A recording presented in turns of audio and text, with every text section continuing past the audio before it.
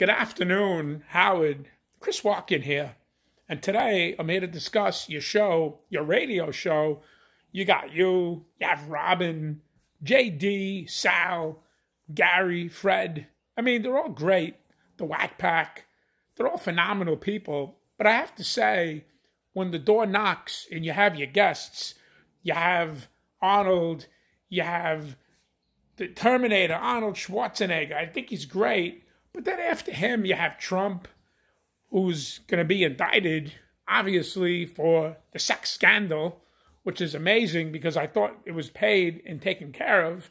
But I guess, however, it's not.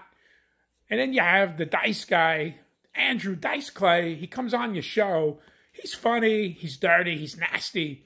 But I think you need to have me, Chris Walken, on your show so we can discuss future and current events. So give me a call. I'll be waiting.